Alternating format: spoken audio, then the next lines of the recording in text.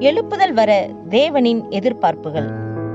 அப்போஸ்தல நடவடிக்கைகள் இரண்டாவது அதிகாரம் மூன்றாவது வசனம். அல்லாமலும் அக்கினிமயமான நாவுகளைப் போல பிரிந்திருக்கும் நாவுகள் அவர்களுக்கு காணப்பட்டு அவர்கள் ஒவ்வொருவர் மேலும் வந்து அமர்ந்தது. இன்றைய தலைப்பு சுயமாக பேச முடியாது.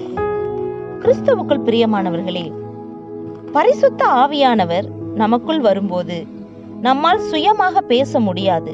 நம்மை முழுவதும் அவரது ஆளுகைக்குள் அவர் கொண்டு சென்று விடுவார். நாவை அடக்க ஒரு மனுஷனாலும் முடியாது என வேதம் கூறுகிறது. ஆனால் பரிசுத்த ஆவியானவர் நம்மை நிரப்பும்போது தேவன் விரும்புகிற பேச்சு மட்டுமே நம்மால் பேச முடியும். சிலர் தேவன் விரும்பாததை நான் பேசவே கூடாது என நினைக்கின்றேன். ஆனால் முடியவில்லை என வருத்தப்படுகின்றனர்.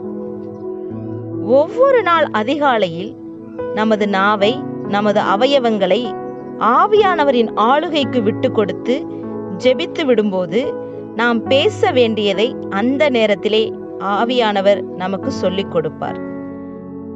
எழுப்புதல் வர விழிப்போம் விழித்திருப்போம். ஆமேன்.